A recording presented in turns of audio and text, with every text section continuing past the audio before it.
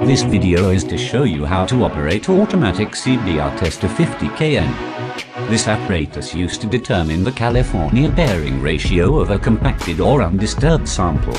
It determines the relative bearing ratio and expansion characteristic under known surcharge weighter base, sub-base and subgrade soils for the design of roads, pavements and runways. Standard use. Apparatus specifications. Parts of the apparatus. Prepare the sample by compacting soil in three layers. press the power on button. Insert the paper roll into the built-in mini printer.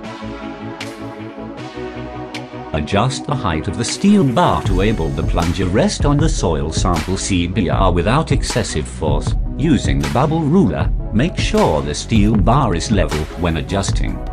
If necessary, press up or down button of the controllers to adjust sample weight. Position the plunger about 2 to 4 millimeters above the soil surface by observing if any load appears on the display. Adjust the transducer tip to be slightly touches the mold.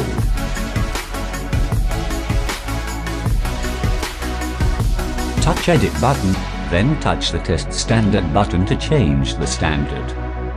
Press tare to clear both the transducer and load cell value, Press test to begin the penetration test until completed. Press save after get the result. Press menu to return to menu page and replace a new sample to begin new test.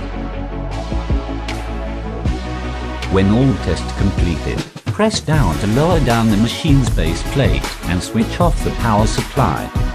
To view the result, select menu and then choose data view.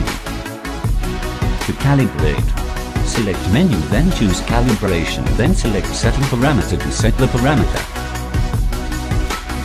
To change time and date setting select menu then choose system time. Then set the date wanted. Touch the number that need to be adjusted. If instrument overload, stop the test immediately. To print the result, press print on the control menu.